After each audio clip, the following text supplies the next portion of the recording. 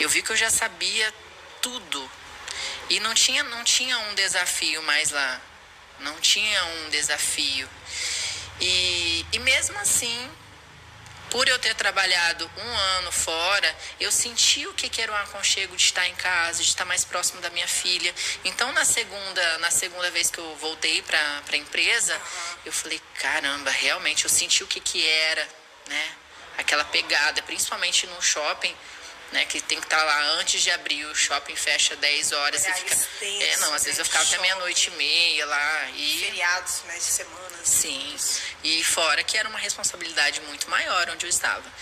E, e questão financeira, né? No meu primeiro ano na, na outra empresa, no, eu abri logo próximo de um Natal e eu nunca tinha comprado presente para toda a minha família. E quando eu estava com a minha empresa, eu fiz, eu fiz um dinheiro no final do ano que eu comprei, eu fiquei perguntando, ó, tem mais algum primo que existe na família que eu não sei?